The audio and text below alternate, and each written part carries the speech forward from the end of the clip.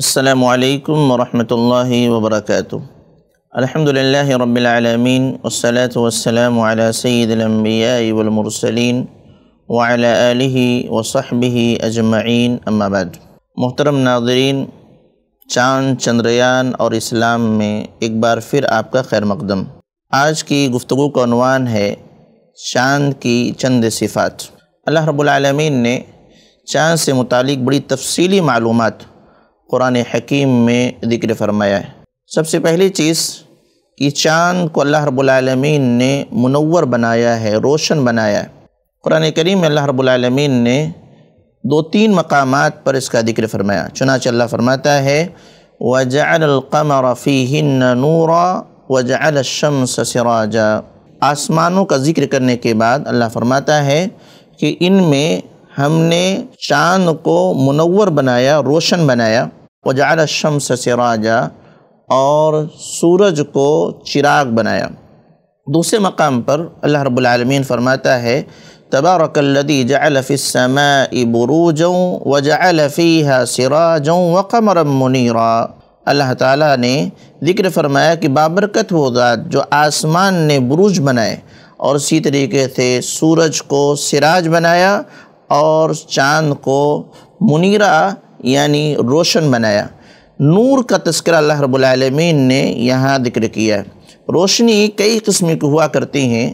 بعض روشنی وہ ہوتی ہیں جس کو دیکھنا ہمارے لیے ممکن نہیں ہوتا۔ جیسے سورج ہے، سورج کو آپ زیادہ دیر تک دیکھ نہیں سکتے، بلکہ ہماری آنکھوں کے سامنے دھندلاہٹ آ جاتی ہے۔ اور چاند جو نور ہے، نور کو بآسانی آپ دیکھ سکتے ہیں اور دیکھ دیکھتے رہ سکتے ہیں۔ اس لیے اللہ رب العالمین نے اسے نور سے تعبیر کیا اور ہم چاند کو دیکھتے ہیں، ہماری نگاہ اس پر ٹکی رہتی ہے اور دیر تک دیکھنا ممکن ہوتا ہے بنسبت سورج کو دیکھنے کے۔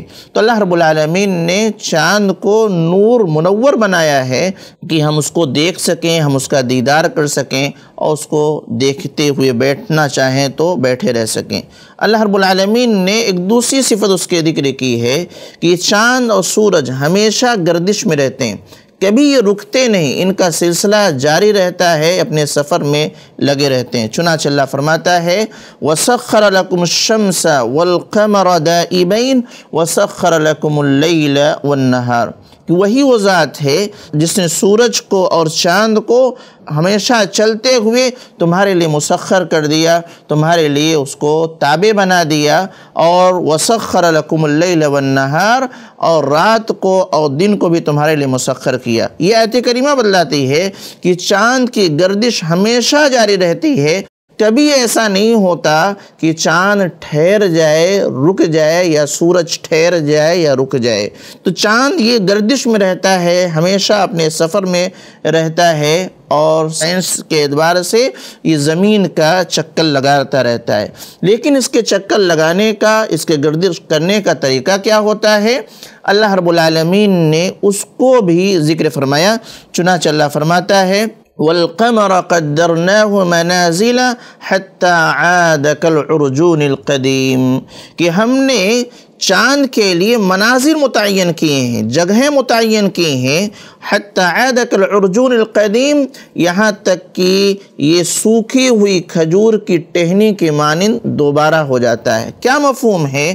مفہوم یہ ہے کہ اللہ رب العالمین نے چاند کے لیے منزلیں متعین فرمائی ہیں اور روزانہ اپنے ایک منزل سے یہ طلوع ہوتا ہے اور پھر اسی کے مقابلے میں جو دوسری منزل ہے، اس وہاں جا کے یہ غروب ہوتا ہے۔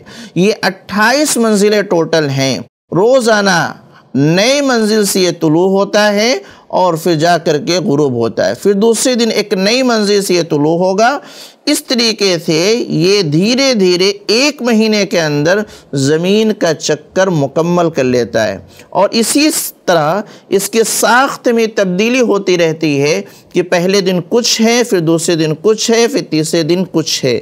ہم جب پہلی بار چاند کو دیکھتے ہیں تو اس وقت بہت باریک چاند ہوتا ہے۔ دوسرے دن وہ تھوڑا سا بڑا ہو جاتا ہے۔ تیسرے دن اور موٹا ہوتا ہے، چوتھے دن اور موٹا ہوتا ہے۔ اس طریقے سے تیرہویں، چودہویں آتے آتے یہ چاند مکمل ہو جاتا ہے۔ مکمل ہونے کے بعد پھر دوبارہ اس کی ساخت میں کمی آنے لگتی ہے اور اس کی جسامت میں کمی آنے لگتی ہے اور پھر یہ دھیرے دھیرے پتلا ہوتے ہوتے ہوتے حتی عاد کالعرجون القدیم، سوکھی ہوئی پرانی ٹہنی، کھجور کی ٹہنی کے مانند ہو جاتا ہے یعنی ایک دم ٹیڑھا ہاں، باریک یہ ہو جاتا ہے۔ اور پھر دو دن یہ غائب رہ کر کے پھر نئے سرے سے چاند طلوع ہوتا ہے، جس کو ہم کہتے ہیں کہ چاند کی ولادت ہو گئی ہے۔ تو یہ اللہ رب العالمین نے ایک ترتیب بنائی۔ دو دن یہ جو غائب رہتا ہے، تو اس میں بھی یہ اپنے گردش میں رہتا ہے، لیکن اس کی ساخت بہت باریک ہو جاتی ہے، اس لیے ہمیں یہ دکھتا نہیں۔ یا جس وقت یہ ہمارے سامنے آتا ہے اس وقت سورج کی روشنی ہوتی ہے جس کی وجہ سے ظاہر نہیں ہوتا۔ یہ مفہوم ہے کہ اللہ رب العالمین نے چاند کے مناظر متعین کیے ہیں اور اس کی ساخت بنایا ہے کہ روزانہ اس میں اضافہ ہوتا رہتا ہے چودہویں رات تک اور اس کے بعد پھر اس میں دھیرے دھیرے کمی آنے لگتی ہے۔ یہاں تک کہ یہ اپنے پہلی حالت پر ہو کر کے دوبارہ طلوع ہوتا ہے۔ چاند اور سورج کے اللہ رب العالمین نے الگ الگ راستے بنائے، الگ الگ مدار ہیں دونوں کے، دونوں ایک دوسرے کے راستے میں نہیں آئیں گے۔ یا دونوں ایک دوسرے سے ٹکرا نہیں سکتے ہیں، یہ اللہ رب العالمین کا نظام ہے، اس نظام کے تحت ان کو چلنا ہے۔ اللہ رب العالمین نے قرآن حکیم میں فرمایا لَشَّمْسُ يَنبَغِي لَهَا أَن تُدْرِكَ الْقَمَرَ وَلَلَّيْلُ سَابِقُ النَّهَارِ وَكُلٌّ فِي فَلَكٍ يَسْبَحُونَ۔ کہ سورج کے لیے یہ ممکن نہیں ہے کہ وہ چاند کو پکڑ لے۔ سورج کے لیے ممکن نہیں ہے کہ وہ چاند کو پکڑ لے، وَلَلَّيْلُ سَابِقُ النَّهَارِ، اور نہ ہی رات کے لیے ممکن ہے کہ وہ دن سے آگے نکل جائے۔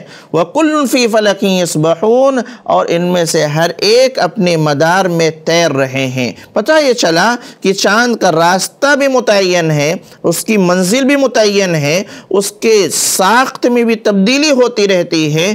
اور یہ کہ اللہ رب العالمین نے اس کو منور بنایا ہے، روشن بنایا ہے، جس کو ہم بآسانی دیکھ سکتے ہیں۔ العالمین کہنے سننے سے زیادہ اللہ ہمیں اپنی نشانیوں پر غور کرنے کی توفیق دے اور بہترین نتیجہ ہمیں عنایت فرما، جس کی وجہ سے دنیا میں بھی ہم سبق حاصل کر سکیں اور آخرت کے لیے بھی انتظام کر سکیں۔ آمین۔ تقبل رب العالمین۔ والسلام علیکم ورحمۃ اللہ وبرکاتہ۔